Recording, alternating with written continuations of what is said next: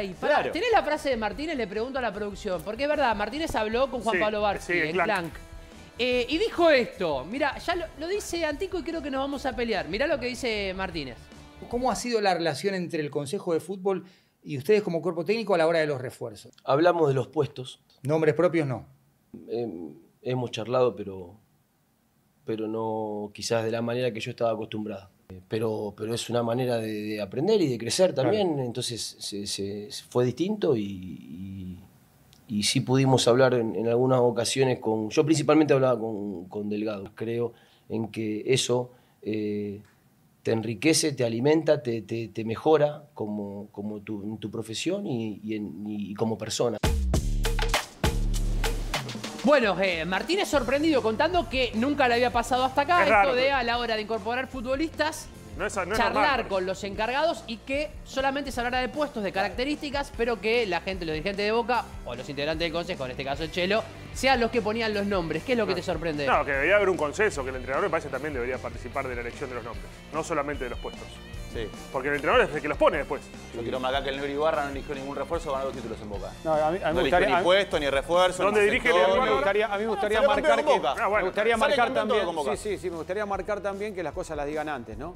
Porque después es fácil, ya de jean, remerita negra, en un estudio, Pero, es ¿y mucho cuándo más fácil. que lo diga, No, no, porque cuando, después cuando estén adentro de Boca. porque ¿sabes qué pasa? Después es así, me lavo las manos. Bueno, no. Mirá, yo no ¿cómo? fui. Yo pedí un 4 y me trajeron a Chatá, yo vos- había pedido vos. Lo dijo, lo dijo diga, Bataglia, sí, lo dijo yo Bataglia y agarro siempre Boca. está Bueno, está, está, está bien. Les que- pregunto, que... no sea común, eh, ¿quiere decir que está mal lo que hace Boca? No, no creo que sea lo, lo correcto. ¿Por qué no? Y porque el entrenador tiene, es el que los pone después. Vos sabés que en Europa Por algo después cada no vez, entraban los en refuerzos Europa Boca. cada vez se utiliza más que los refuerzos los define los dirigentes, o en realidad la gente encargada del fútbol, No. con el scouting, con el departamento de scouting. No, no estoy de Defensa acuerdo. y justicia. No estoy de acuerdo para nada. Defensa y justicia, que es de los mejores Para nada. equipos en el fútbol argentino que viene laburando en el último tiempo. Sí. Muchos refuerzos los define el presidente con el departamento de scouting sin Claro. pasar por el entrenador. Pero ¿sabes lo Hay que un consenso después? después? con algunos otros ¿Sabes jugadores. lo que pasa? Después cuando tienen que hacer los cambios quedó demostrado. No entraban los No, jugadores. y, y. ¿sabes Sí. lo que pasa? No, eh, no seas malo también. Yo porque coincido en buena parte con vos. Ahora, eh, por ejemplo, Carlitos Treves le gustaba a Johnny Quiñones. Sí. Eh, Y todavía está ahí, no saben cómo No, se no, hacer. obviamente, A obviamente que después- le gustaba Buffarini y no jugó un solo minuto. Y así puedo Bueno, seguir. vamos a- No, de Vamos a Racing. Vamos a Racing. Sí. ¿Quién, quién fue el gran artífice de los refuerzos de Racing? Costa. Blanco. No.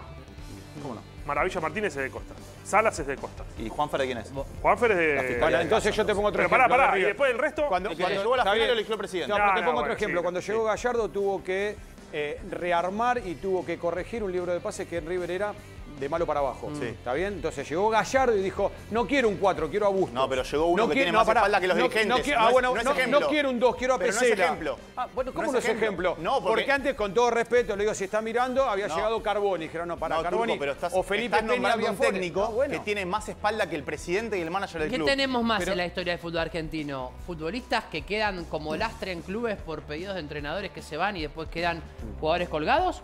¿O este tipo de No, experiencias en Bo- en Boca- donde tenés dirigentes, en este caso son integrantes de un consejo, yo digo dirigentes En Boca porque hay muchos jugadores que llegaron por pará, pedido del consejo y no jugaron, ¿eh? Yo digo dirigentes porque los equiparamos con otros cargos de otros clubes. No creo que haya otro club que tenga tanta presencia de exfutbolistas No, no, no, no. eh, metido. ¿No, ves, ¿No lo ves como una demostración de compromiso eh, con, con el club? No, es decir, según- nosotros nos hacemos No, cargo de lo que después va a quedar. Según- Nosotros buscamos un perfil de jugador Sí, que pero- nos sirva a futuro. Pero según qué jugador, porque después yo soy el entrenador y te pido un 5 y de 5 llego yo, me decís, no, pero dale, yo te pedí un 5 de verdad. No, no, Porque no. después lo van a putear. ¿Y cómo terminó Martínez? Afuera. ¿Cómo terminó? No, no Afuera. seas malo, no es que- tuvieron no es que Boca no, Se no tuvo que ir de Boca. No quiero ser Se malo. tuvo que agarro, ir. agarro cinco al azar. Sí, Zambrano, sí. para afuera.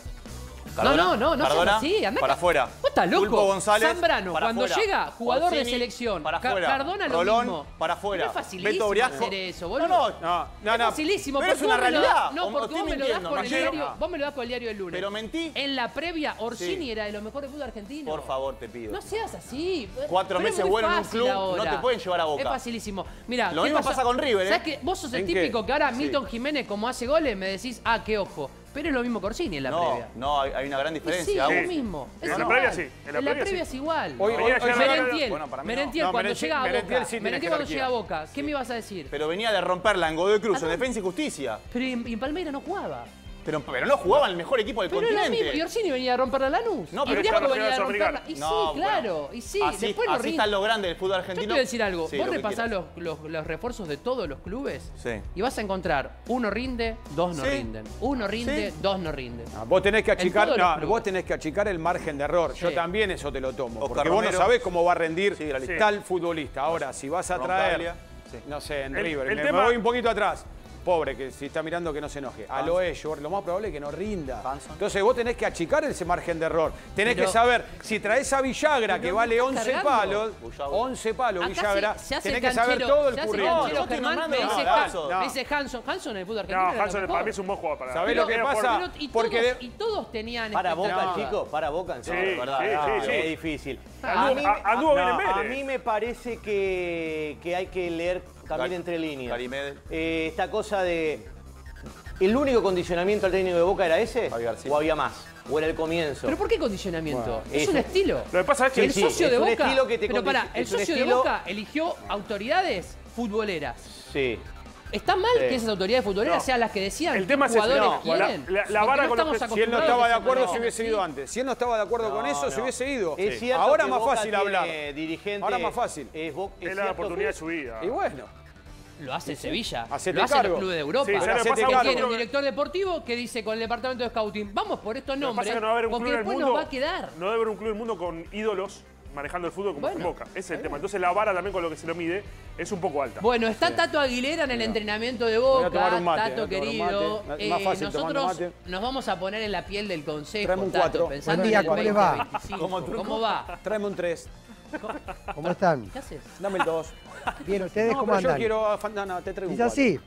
¿Qué haces? Así se manejó con Miguelito Russo, tu, tu, tu. así se manejó Boca con. Bataglia, así se manejó Boca con el Negro Ibarra, así se manejó Boca con Diego Martínez. Los refuerzos fueron traídos por el Consejo de Fútbol, obviamente con la anuencia y la decisión de Juan Román Riquelme.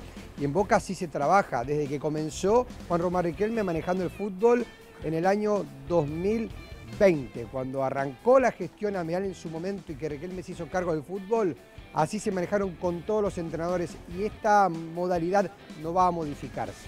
Mm. A Diego Martínez lo sorprendió porque no había trabajado así en otros clubes, pero así se trabaja en Boca y así lo aceptó. Sí. Tuvo dos mercados de pases Diego Martínez, enero de este año y junio, julio de también de este 2024.